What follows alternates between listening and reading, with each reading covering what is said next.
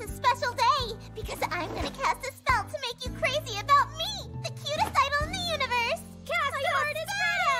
Yay! Let's go! Kasu Kasu, yeah! Hey, don't call me that nickname! Mm. What exactly is the point of this?